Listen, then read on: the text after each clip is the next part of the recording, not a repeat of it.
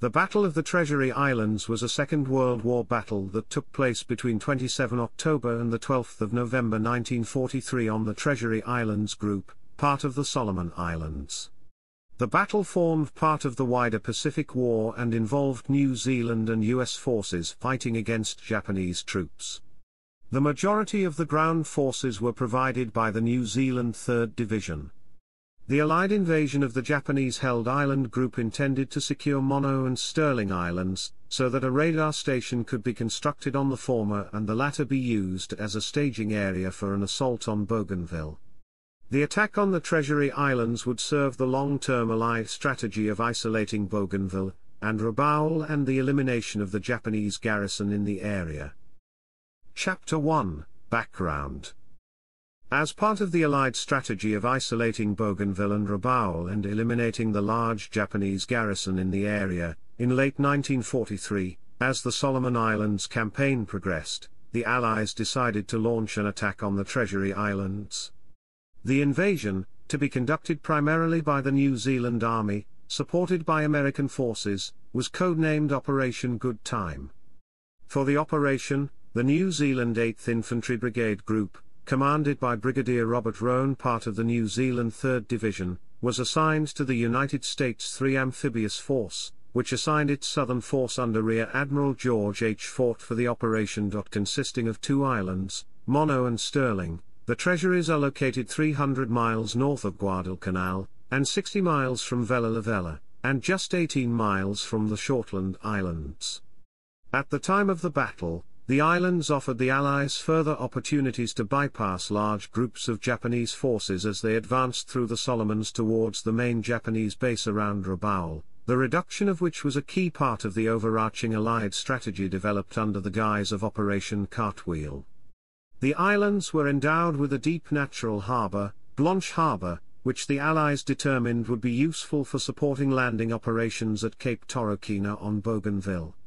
Mono Island, due to its high features, also offered the prospect of serving as a radar station to provide early warning for aerial and naval surface attacks during the Cape Torokina operation. The Allies also hoped that the landing would convince the Japanese that their next move would be on the Shortlands or on Binya, on the southern tip of Bougainville, instead of the Cape Torokina, Empress Augusta Bay area. Chapter 2 Operation the Allies launched the invasion of the Treasury Islands at 6.06 hours on the 27th of October. Three echelons of high-speed transports, totaling eight vessels, were assembled for the operation. In addition, there were eight LCIs, two LSTs and three LCTs allocated. Several minor reconnaissance operations were undertaken prior to the landing, firstly on 22 to 23 August and then 21 to 22 October. Meanwhile, the assaulting force conducted rehearsals off Florida Island in the lead-up. Commencing on the 27th of October, following a short naval and aerial bombardment, seven APDs arrived in the transport area west of Cummings Point on Stirling Island and began disgorging their smaller landing craft, which were assigned to land forces on either side of the harbor. Despite heavy rain, which reduced visibility, the destroyers USS Philip and Pringle laid down a heavy, but ultimately ineffective pre-landing bombardment. Following this, two infantry battalions, the 29th and 36th, landed around Falamai, on the southern coast of Mono Island, approximately two miles away from Blanche Harbour's western entrance. Meanwhile, a detachment from a 3rd Infantry Battalion, the 34th, landed on Stirling Island, to the south of Mono, while another detachment of 200 personnel from the 34th, supported by the APD USS McKean, skirted around the western side of the island and landed to the north around Sono to provide security for a radar station that would be installed there. A total 3,795 men landed in the assault wave with the remainder of the Allied force landing in four waves during the following 20 days, to reach a total of 6,574 men. The operation was the first amphibious assault launched by New Zealand troops, since the Gallipoli campaign in 1915. It was the second combat operation undertaken by the New Zealanders in the Pacific, following the land battle of Vella Lavella, which had taken place the previous month. The New Zealand infantry were supported by U.S. combat support and service support units including a naval construction battalion, a signals unit, a naval base unit, and a coastal artillery battalion to provide anti-aircraft fire support. The Japanese were caught by surprise and were unable to scramble aircraft to attack the assault craft until after the troops had landed. Subsequently, late on the 27th of October, a force of 25 dive bombers attacked two U.S. destroyers, USS Cony and Philip.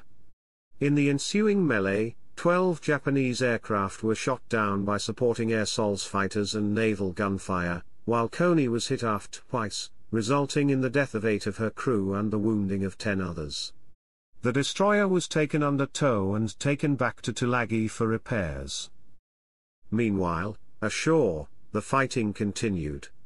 Resistance to the initial landing was light and was quickly overcome with only a small number of casualties, which came exclusively in the first wave of the assault. Over the course of several hours, the beachhead around Falamai was secured amidst sporadic resistance from the Japanese and then over the following days patrols were sent out to clear the island. Meanwhile, the force holding Soanotalu fought off several sharp attacks between 29 October and the 2nd of November, including one attack by a company-sized element that resulted in about 40 Japanese being killed.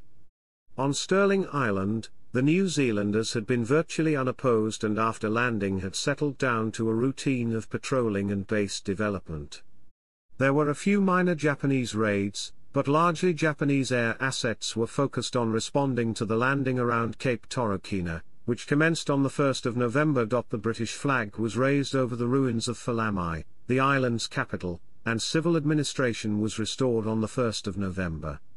Mopping up operations began and over the course of 11 days a number of minor engagements took place as patrols sought to flush out Japanese troops that were hiding out, mainly in caves on the northern coast.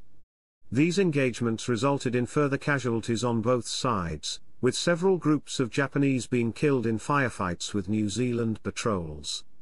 On the 12th of November, the islands were declared clear of Japanese forces, although Japanese holdouts were sighted in the jungles into January 1944. The operation, in conjunction with Operation Blissful, a raid on Choiseul, served to divert the attention of the Japanese 17th Army from the next major Allied target in the Solomon Islands campaign. The success of the operation also helped to improve the planning of subsequent landings in the Pacific. The New Zealanders' next combat operation would be the Battle of the Green Islands, in early 1944. Casualties during the operation amounted to 226 for the Allies, consisting of 40 New Zealanders killed and 145 wounded, and 12 Americans killed and 29 wounded. The Japanese lost 223 killed and 8 captured. Chapter 3 Base Development Seabees from Company A of the 87th Naval Construction Battalion, along with a 25-man detachment from its headquarters company, landed on the 27th of October. One Seabee raised the blade on his bulldozer to use it as a shield, and attacked a Japanese machine gun nest with it. The Seabees built 21 miles of roads, and established a PT boat base on Stirling Island. They were joined by the rest of the 87th Naval Construction Battalion on the 28th of November.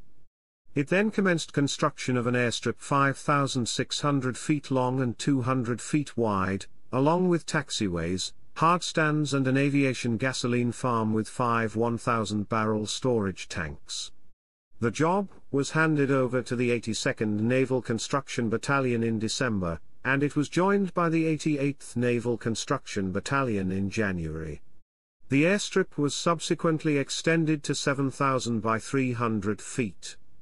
The 87th Naval Construction Battalion turned to construction of wharf facilities to accommodate large ocean-going vessels. Four 6 by 18 foot pontoon barges were secured to 16 by 16 foot timber crib piers, which were connected to the shore by ramps made of girders covered with wooden planks. The first ship docked on the 30th of January 1944.